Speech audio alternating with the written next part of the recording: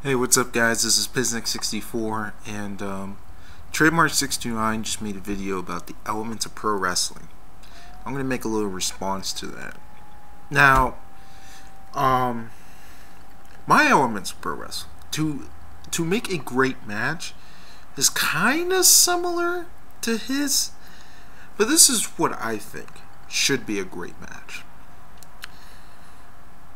The difference between now, his all-time favorite match is Undertaker HBK at Badd Blood 97. Mine's HBK Taker from WrestleMania 26. Now, the difference between WrestleMania 25 WrestleMania 26, WrestleMania 25 was a better wrestling match. If you want just a regular wrestling match, no, that's a great wrestling match. But if you want a great overall match, WrestleMania 26, and let me tell you why. WrestleMania 26 had uh, the wrestling, obviously, great wrestling. Build up, you gotta have a good build up. Build up was great. Build up was was going on since like what December or October or December, something like that. I don't know. Been going on for a while. So you gotta build up the promo. So promos, wrestling, storytelling during the match. Undertaker hurt his leg. Now, I guess you can consider HBK a heel. I guess they're both kind of tweeners.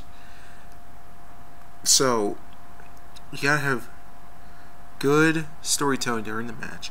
And you just have to have that emotion in the match.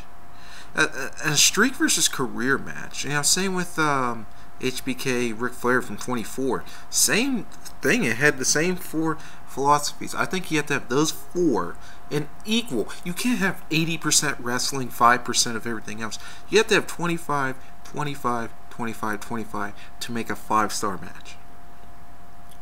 Look at um, HBK or er, Triple H Taker from this year. Wrestling was kind of off.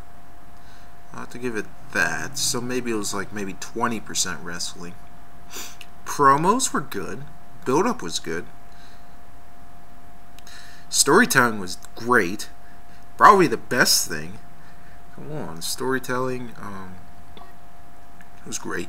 And then you had that emotion, just overall emotion when Taker got tombstone by Triple H. I mean, you just you had to have those emotions.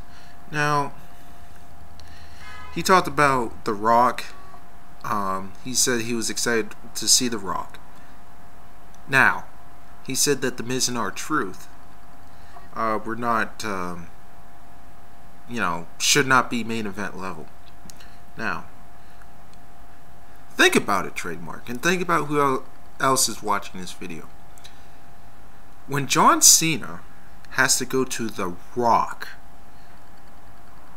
technically you're putting uh, Miz and R-Truth over. You're saying you have to get the best of the best.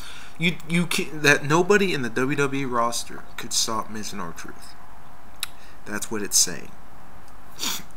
That's what I'm getting out of this. That you have to get the Miz, or you have to get The Rock. Could have got Stone Cold or Undertaker, or like Shawn Michaels, or like, you know, not somebody who's like super old, but somebody who's like a legend, like you know, even like a Chris Jericho in there.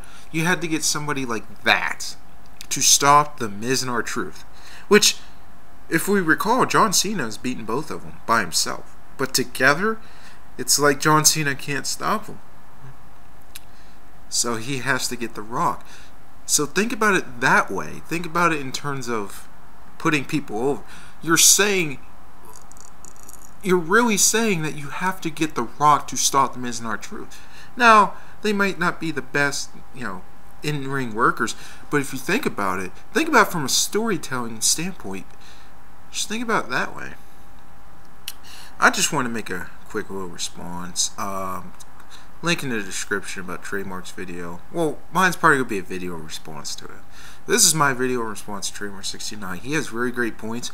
I just wanted to do my perspective. It might be the same thing as his, but might not be a little different. But I think you have to have the four philosophies to make a five-star match. I think if they're all equally developed, you look at The Rock and Austin had the four philosophies. This is my four philosophies of how to make a five star match. And it doesn't have to be in WWE. It could be in TNA. It could be in ROH. Could be in PWG. It could be in any promotion. But that's all I have to say. I hope you like this video. Comment down below what you think. I will discuss it with you. Um, I really want your feedback on this. Maybe what's your philosophy? What's your theories of how to make a five star match? I'm out. Peace.